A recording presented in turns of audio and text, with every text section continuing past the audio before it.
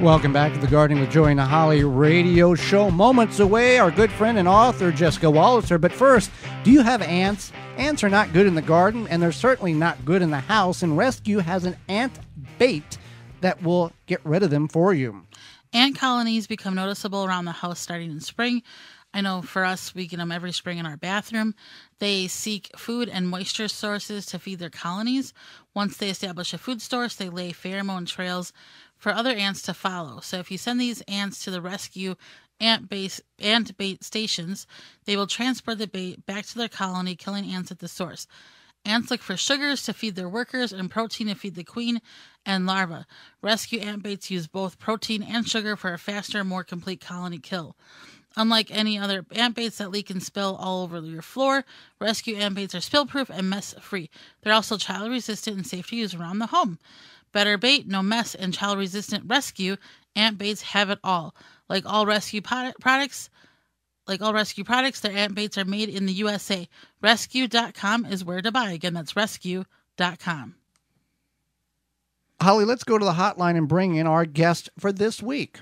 Jessica Walliser is an author, gardener, garden blogger, columnist, and all around horticultural and botanical enthusiast. She lives in Pittsburgh, Pennsylvania with her family. Welcome to the program, Jessica. Thank you so much, Holly. It's nice to be with you guys. Well, it's always nice to have you come back on the program. I've said this once and I'll say it again. We always know when a new book has come out that Jessica has published because the the mail woman or mail man delivers it right to our door. So we know, hey, new book.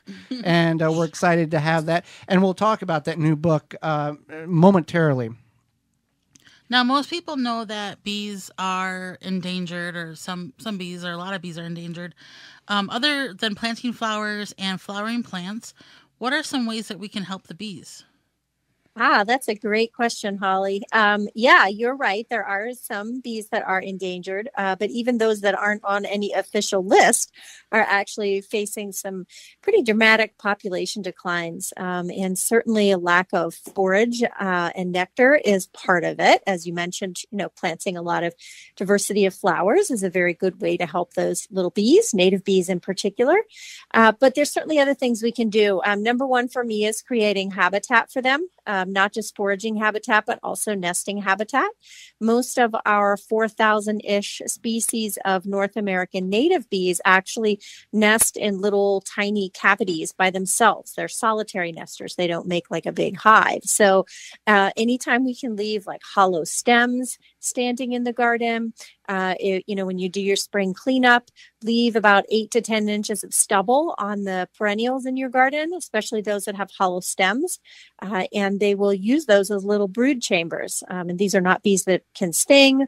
Uh, they're very, um, you know, docile bees. So that's a great way to help them just by allowing them to have a space uh, to build a nest in your garden. Well, that's interesting. And I want to ask. Well, I want to ask about your book here.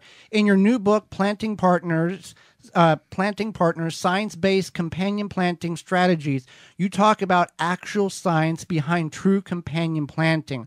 What was one of the most surprising and unique companion planting techniques that you learned when writing this book? And and I ask you that because Holly and I, we've talked to garden talks and, and online that you know you type in companion planting, you get 47 charts, and 38 of them are completely different from one another. What was, and I like this because it's science based. What was the most unique thing that you learned uh, in this um, research?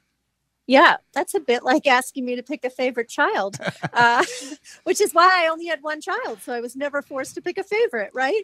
Um, you know, there it was. It was crazy because during the research, you know, I was surprised to find just literally hundreds of studies that examined plant partnerships um, in the garden and different ways that they could could benefit us. Um, I would say probably, um, you know, the pest management aspect of companion planting seems to be the most popular mission for gardeners, right? That's the reason why they employ companion planting. So I would say some of the strategies that I found actual research on in terms of pest management um, were most surprising to me. Uh, in particular, the uh, number of studies that were done on trap cropping, which is where you're basically partnering two plants together, and one of them is you know meant to sort of lure away the pests from the desired plant. So it becomes almost like a sacrificial plant right that you're planting so that the bug damage is on that plant instead of your main plant. So like uh, in my garden i always plant my radishes right next to my uh, tomato transplants. And that's because we have a major issue with flea beetles. So flea beetles much prefer the radish in my garden. So they'll go to the radish and they'll leave my young tomato transplants alone. So it's a great way to sort of lure them away from the plants that you, uh, you know, I can still harvest the radish, obviously, because they don't damage the roots. They only damage the leaves, but I end up getting healthier tomatoes as a result. That's definitely, trap planting is definitely uh, a really, I think, really great idea. Now, many of us have heard of polyculture and it's increasing and it, how it increases plant di- biodiversity. Does companion planting do the same? Is it a similar science, kind of like uh, the uh, trap planting? But, yeah, yeah, yeah, I mean, in in a lot of ways, um, you know, they're one and the same because companion planting is partnering plants together. A lot of people think it has to be like plant A with plant B, you know, that it has to be just two plants together. But the way I like to think of it and the way I talk about in plant partners is that it is creating a polyculture. It's not just two plants partnered together. It's basically creating a very biodiverse environment where the result of all of that biodiversity is stability. It's fewer pest outbreaks, it's fewer disease outbreaks, it's fewer weeds, right? So we all know diversity equals stability. I mean, that's true in people too, right? In all ecosystems. Um, and so we can definitely do that in the garden. I mean, that, that should be a mission to build that polyculture of as many species as possible. Instead of everything being in a straight row in your vegetable garden, you know, a row of cabbages, a row of peppers, a row of tomatoes, mix it all up get some flowering herbs in there and um, and flowering annual plants, and that's going to improve that biodiversity and make your garden a more stable place. Well, you are the bug lady. You wrote the book Good Bug, Bad Bug. And I'll ask you, what are some well known good bugs that most people have in their garden? And how can we keep those good bugs in the garden or attract more good bugs? I know there's got to be a little balance of good and bad in order for the, the bio, you know, everything to work out. But how can we bring in more good bugs and how can we keep the ones we have? And what are some of them? Yeah, so I'll answer the second question first, which is how we keep them. And one of the main ways we keep them is goes back to that biodiversity and that turning your vegetable garden into a polyculture of mixed plants together, because that's really the kind of habitat that they need. That's the shelter that they need. Um, a lot of them, even though they will eat other bugs, right? That's their protein source. Um, they'll eat aphids and, uh, you know, spider mites and whiteflies and things like that but another part of their diet has to be carbohydrates and that's found in nectar so the more greater diversity of flowering plants that you can have in your garden the better it is for all of these good bugs as well. So that can be things like hoverflies, also called syrphid flies. Um, they they're sort of a bee mimic. They look a little bit like a bee. A lot of them have the sort of black and yellow stripes on them, um, and you'll see them kind of hovering around your flowers, in particular members of the daisy fa- family, which they really love to nectar on. The adults are pollinators. It's actually their larvae that are predaceous, so they eat. Uh, they love to eat aphids, right? So you see them a lot of times, kind of like a little slug-like creature that crawls around on your plants and eats aphids. So they're a really, really common one to see in garden gardens.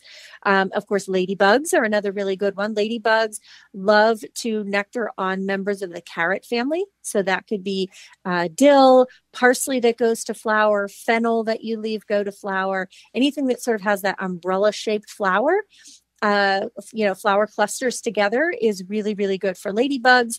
Uh, and they're predaceous both in the adult stage and the larval stage as well. So, yeah, my book, Good Bug, Bad Bug, I have another one, Attracting Beneficial Bugs to Your Garden, where I really dive into a whole bunch of these different species of beneficial insects and how you can use them to your advantage in the garden. Now, with people who are maybe new to gardening and they see videos of people purchasing bugs, good bugs to let loose in their garden. Do you recommend that? Do you not recommend that or is there it's a balance of a good and a bad thing altogether?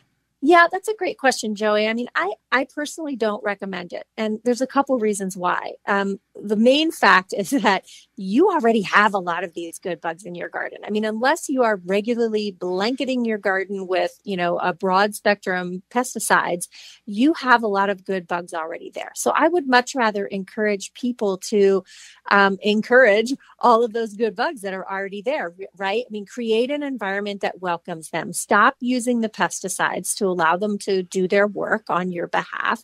Um, and that should be your goal. It should be should be fostering the indigenous population as much as possible.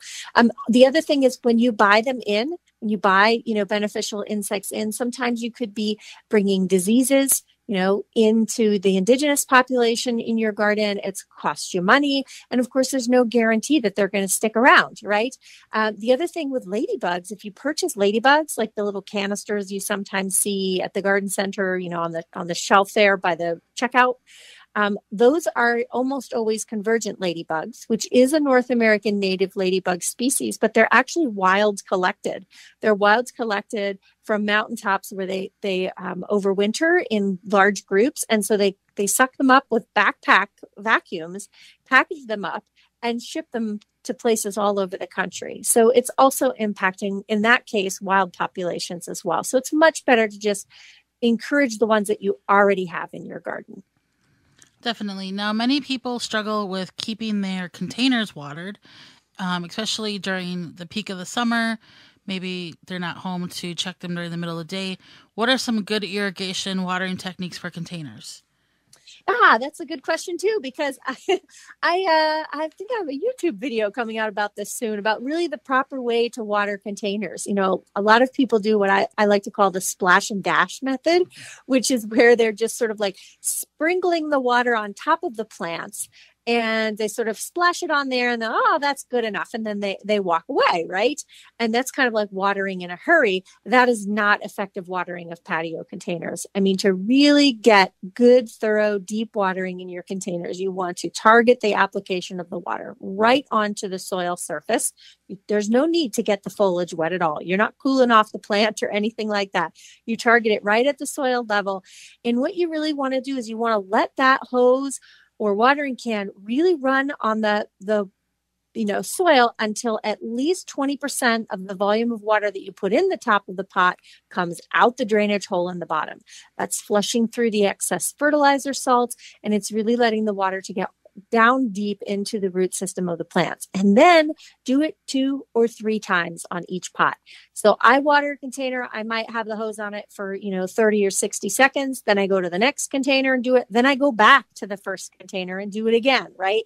That's what it takes to really especially if the soil is really dry, that's what it takes to really get good thorough saturation in that potting soil. Well, and for new gardeners, and I, I would guess that many experienced gardeners do not have do not realize how long and how much water it takes to actually hydrate a dried out container.